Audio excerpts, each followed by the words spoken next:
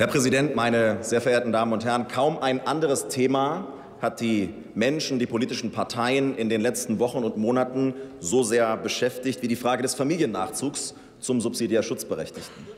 Und dass das so ist, das liegt daran, dass wir als nationaler Gesetzgeber in dieser Frage einen eigenen Ausgestaltungsspielraum haben. Anders als beim Familiennachzug zum anerkannten Flüchtling im engeren Sinne müssen wir uns hier in der Sache damit befassen und können eine Regelung auf den Weg bringen, bei der wir natürlich den Artikel 6 des Grundgesetzes berücksichtigen müssen, bei der wir aber auch berücksichtigen müssen, was die zuständigen Kreise, was diejenigen, die sich tagtäglich in der Flüchtlingspolitik und in der Flüchtlingshilfe engagieren, dazu sagen. Und nach Einschätzung des Deutschen Städte- und Gemeindebundes fehlt es auch weiterhin an ausreichend Kinderbetreuungs- und Schulplätzen.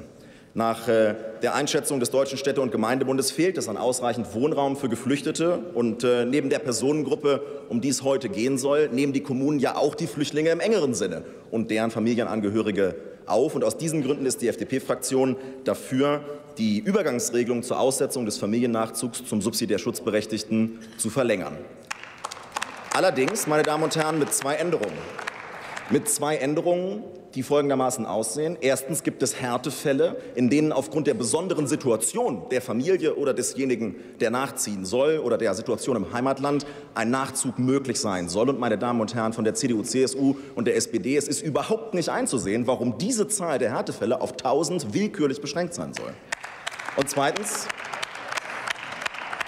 und zweitens sind wir für eine Veränderung dieser Übergangsregelung, weil es Menschen gibt, die, obwohl sie nur vorübergehend hier einen Schutzstatus genießen, nämlich denjenigen des subsidiären Schutzes, sich trotzdem integrieren, eine Arbeit ergreifen, für ihre Familie, für ihren Lebensunterhalt sorgen können. Und meine Damen und Herren von der AfD, warum sollen denn diese Menschen nicht auch ihre Familien nach Deutschland nachziehen äh, lassen? Das ist schlichtweg nicht einzusehen.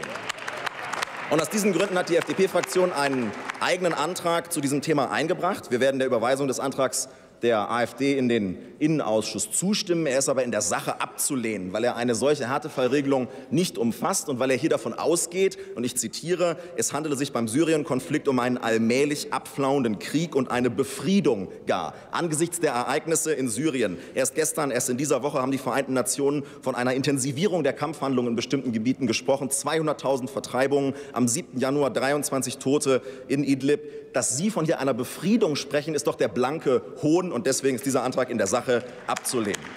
Die subsidiäre Schutzberechtigung ist in der, ist in der Regel verliehen auf ein Jahr, kann dann verlängert werden auf zwei Jahre. Der Syrien-Konflikt dauert aber an seit 2011 und deswegen gibt es Menschen, die dauerhaft länger als zwei Jahre, länger als drei Jahre von ihren Familien getrennt sind. Wenn man hier das Kindeswohl besonders berücksichtigt, dann muss in solchen Fällen auch der Familiennachzug möglich sein. Und ein Härtefall, der kann eben auch möglich sein, meine Damen und Herren, wenn Menschen, die nachzuziehen sind, bei einem Aufenthalt in Deutschland selber Anspruch auf subsidiären Schutz hätten. Es ist doch sinnlos für diese Menschen, den Familiennachzug nicht zu eröffnen. Und auch hier bedarf es einer Härtefallregelung. Meine Damen und Herren, wir sind dafür, dass es eine weitere Übergangsregelung gibt, weil zwei Jahre eben auch genug sein müssen, um endlich ein kohärentes Flüchtlings- und Einwanderungsrecht in Deutschland zu schaffen, mit einem Punktesystem fürs Einwanderungssystem, aber auch mit neuen Regelungen für Bürgerkriegsflüchtlinge. Und dann kann, meine Damen und Herren, auch auch jemand hierbleiben, der im Falle eines Einwanderungsgesetzes zwar als Flüchtling gekommen ist, aber die Kriterien eines Einwanderungsgesetzes erfüllen würde. Auch diese Menschen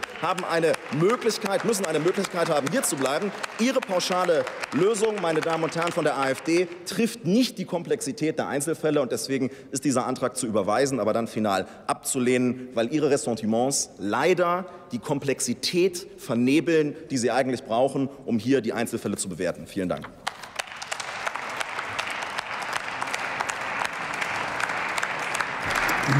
Nächste Rednerin ist Ulla Jelpke für die Fraktion Die Linke.